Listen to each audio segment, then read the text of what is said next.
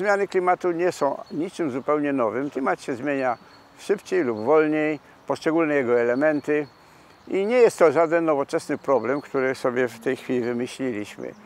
Problemem jest co innego, mianowicie to, że nasza cywilizacja nie jest dostosowana do zmian. Najbliższy okres będzie okresem umiarkowanego wzrostu temperatury i ulew przerywanych okresami suszy.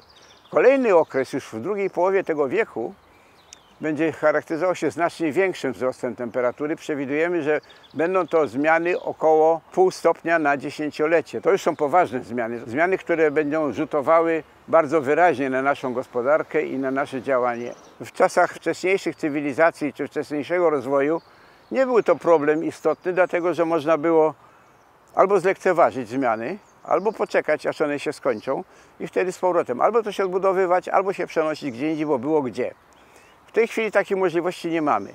Mamy praktycznie dwie, dwie strategie adaptacyjne. Jedna polega na tym, że likwidujemy straty.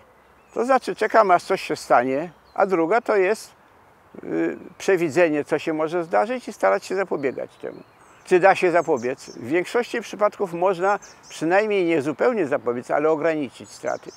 I, I, ograniczenie tych strat jest możliwe, jeśli weźmiemy wcześniej pod uwagę, że takie zjawisko może wystąpić.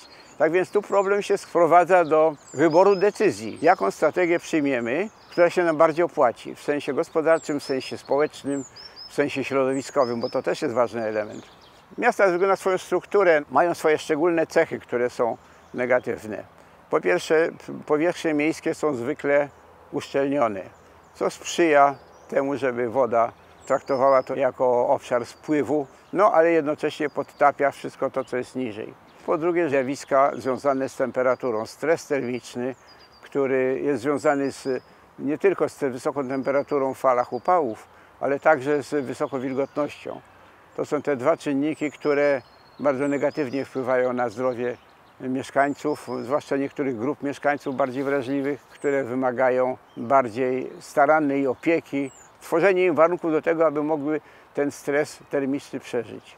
Te problemy, o których wspomniałem, będą się nasilały w przyszłości i dobrze byłoby, żeby przede wszystkim e, władze miejskie, ale to nie tylko władze, dlatego że e, decydentami w sprawie adaptacji nie są tylko władze, są również samorządy, są również obywatele, którzy mają, mogą oddziaływać w dowolny sposób, taki jaki, jaki mogą, na to, żeby te warunki klimatyczne w mieście poprawić.